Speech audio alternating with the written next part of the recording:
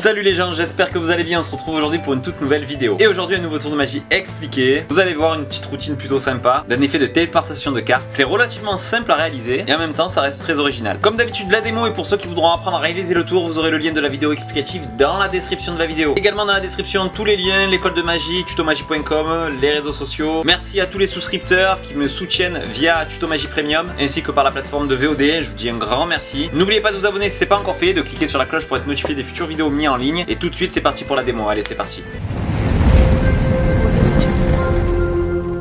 Allez, c'est parti pour la démo. On se retrouve pour un tour avec un jeu de cartes de 52 cartes différentes, ainsi que les cartes peuvent être mélangées par notre spectateur ou même le magicien, il n'y a pas de problème. Et ensuite, on va faire choisir une carte au spectateur en riflant les cartes. Alors, il nous dit stop quand il veut. Imaginons stop ici. Ok, très bien. Sur le 5 de trèfle.